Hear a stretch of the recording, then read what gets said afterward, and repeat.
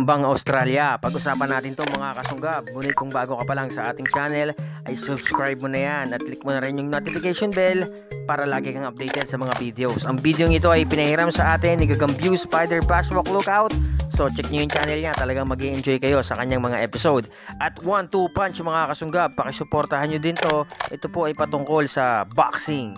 So, shoutouts nga pala ng malaking malaki kay uh, Gagambew dahil uh, pinahintulutan niya tayong uh, mag-react dito sa kanyang video na kung saan ay nakahuli siya ng dalawang uh, naglalakihang mga gagambang Australia, mga orb weaver doon na talaga namang hindi natin matatawaran ang mga ganda nito. So samahan natin siyang maghanap mga kasunggab.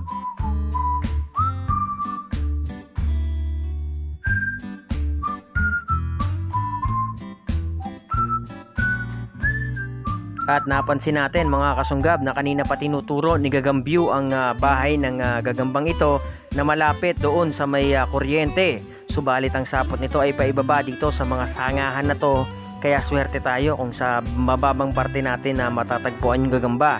Hindi na natin kailangan itong sungkitin mga kasunggab.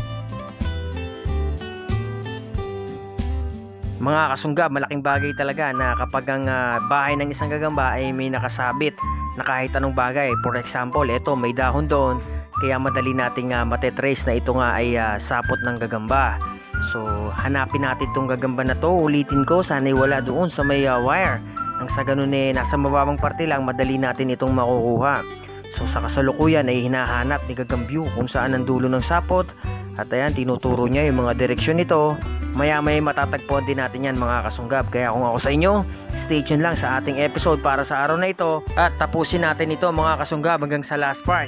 Dahil uh, kung mas maganda ang gagambang makikita natin ngayon dito sa sanga na to, yung pangalawang gagambang Australia na matatagpuan natin maya maya lang, ay talaga namang mapapawaw ka mga kasung. So, dyan lang kayo at mag-enjoy sa ating uh, episode.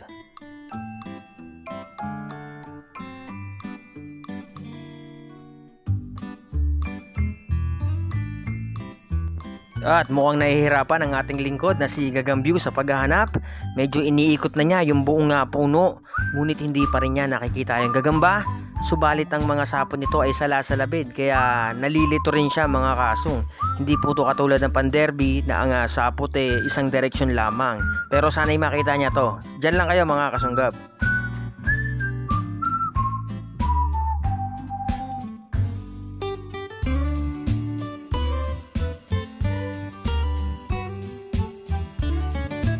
Palagay ko dito mga kasunggab maya maya lang ay magpapakita na ang gagambang Australia. So ayan na nga.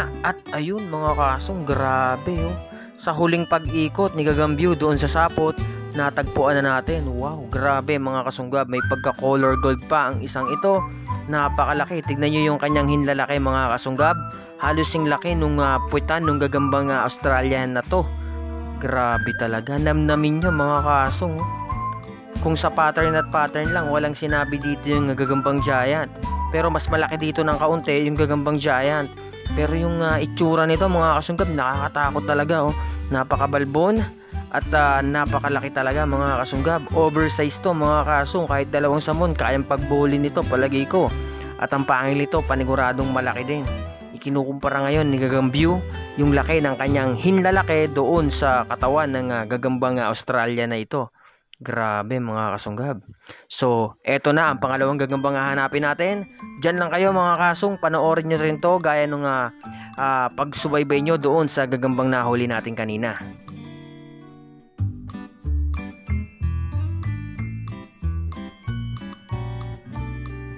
Eto ibang kaso mga kasong. Yung kanina nakita niya malapit lang dun sa bahayan nila na kung saan tabing kalsada lang at may mga nakapark pang mga kotse kung napansin nyo doon.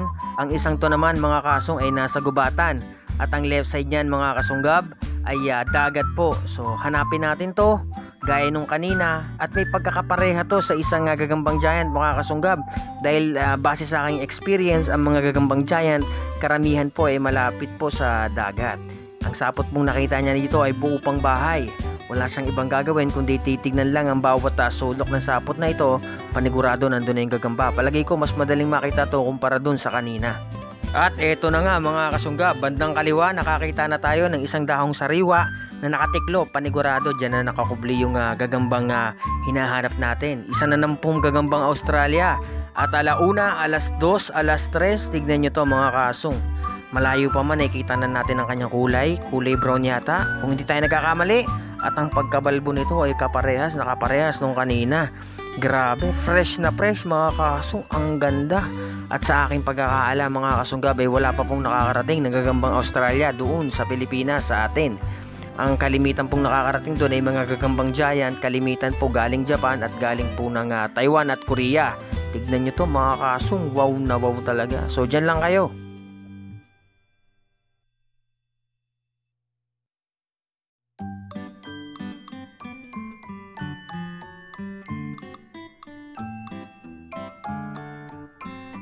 Eto sa mga puntong to mga kasong medyo nararamdaman ko si Gagambyu dahil nung first time ko din na nakahuli ng isang gagambang giant na halos sa kasing laki niyan.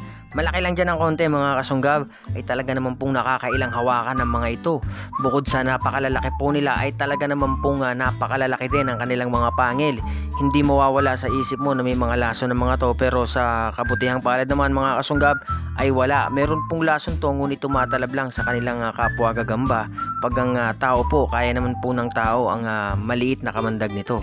So ayun sa pagpisil natin doon sa gagamba pumunta po ito sa kanyang bahay dahil nakaramdam siya siguro ng threat. So ito kinukulit ng ating lingkod na si Gagambyu.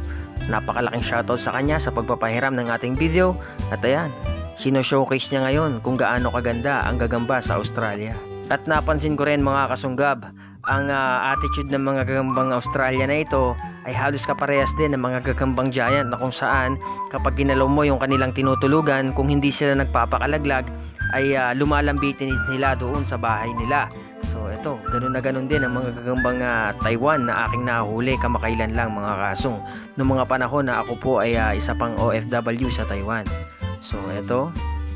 So, ayan. Papunta na po sa kanyang uh, tinulugan. Palagi ko, hindi ito kinukuha ni Gagambyo, mga kasong. Ayun. Maya may matutulog na yan sa kanyang uh, sa kanyang dating pwesto. At bago matapos ang video na to mga kasunggab, malaking malaking shoutout sa iyo Gagambyo Spider Bashwalk Lookout sa pagpapahiram ng iyong video sa amin. So maraming maraming salamat sa inyo mga kasunggab. Hanggang sa muli at paalam!